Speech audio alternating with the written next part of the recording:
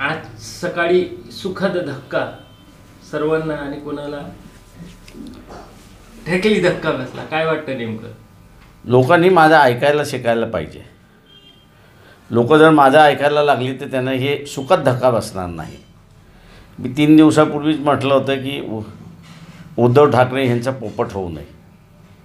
कालही पुन्हा असणाऱ्या प्रेसमध्ये ते रिपीट केलं की पोपट होऊ नये. त्याच्यामुळे हे जे काही घडलं ते मला नवीन नाही आहे हे घडणार होतं?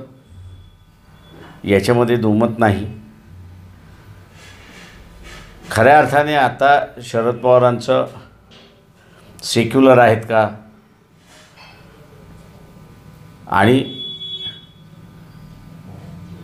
त्यांच्या संमतीशिवाय झालं नाही हे त्यांना आता सिद्ध करावं लागेल.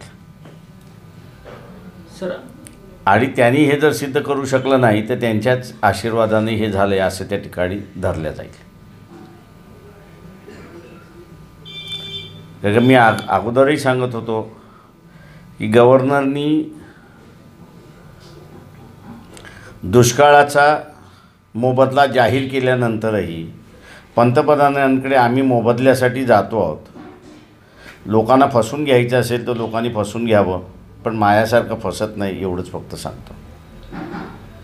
सर काय हरियाणासारखं हे झालं का? कारण दबावतंत्र काही झाले? हरियाणासारखं नाही. देवेंद्र फडणवीसला आमचा सरळ सवाल आहे. हायकोर्टाने जे असणारं एफ आय आर दाखल करायला सांगितला होता.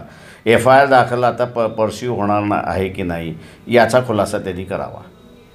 कारण ज्या अजित पवारवर शरद पवारवर ईडीच्या नोटिसेस होतात त्या दबावतंत्राखाली तर बावीस आमदार घेऊन मी कुठलं मी असं म्हणणार नाही. मी असं कोर्टाने जे आदेश दिलेले आहेत ते कोर्टाच्या अंमल आदेशाचा अंमलबजावणी देवेंद्र फडणवीस करणार का याचा खुलासा त्यांनी करावा. याच्यात सिकंदर कोण राहिले सर? या पूर्ण याच्यामध्ये नेमकं कोण नाही, तुम्ही उल्लू कोण कोण झालं एवढं मला विचारा. मग मी सांगतो कोण कोण उल्लू झालं ते. कोण कोण झालं? काँग्रेस झाली आणि त्याच्याबरोबर शिवसेना झाली.